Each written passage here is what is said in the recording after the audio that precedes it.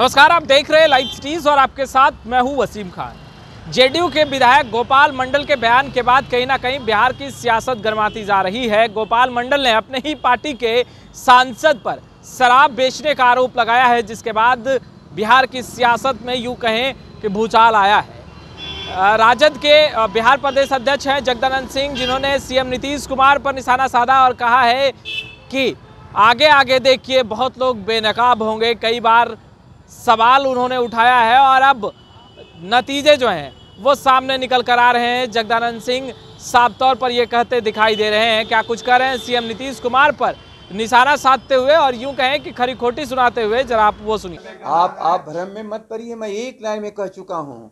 बीस हज़ार करोड़ की समानांतर अर्थव्यवस्था इस वर्तमान सरकार ने बनाई है। ये छिपेगा क्या? खैर, खून, खांसी, खुशी। और क्या क्या है मधुपान? मधुपान। जान सके नीतीश कुमार ये मधु का ये शराब का व्यापार करेंगे और छुप जाएँगे नीतीश कुमार यात्रा पर निकलने वाले हैं पंद्रह तारीख से। अब मैं आप लोगों को प्रणाम करूँ? आप लोग की अनुमति हो। पंद्रह तारीख से सीएम यात्रा पर निकलने वाले हैं। सुन लो सबसे मैं शिकायत कर रहा हूँ। उस दिन जो मैंने शराबबंदी के बारे में कहा बोलो यहाँ जितने बैठे हो किसी ने अपने सोशल मीडिया पर दिखाया? नहीं दिखाया। पहले आप लोग भी देखो भाजपा वाला दिमाग मत बनाओ। लोगों की बातों को जाने दो।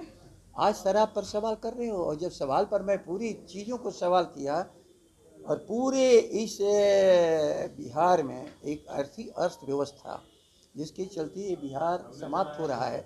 और मैं नीतिगत विषयों को उठाया था। नीतिगत बिजली का ही विषय था लेकिन नीतिगत मामला।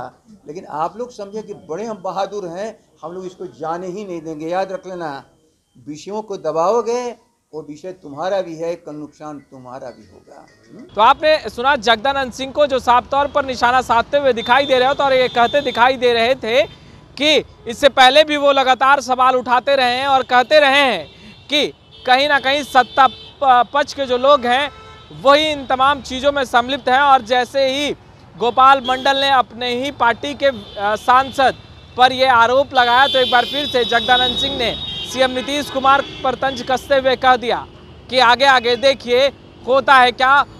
कई और लोग भी बेनकाब होने अभी बाकी हैं।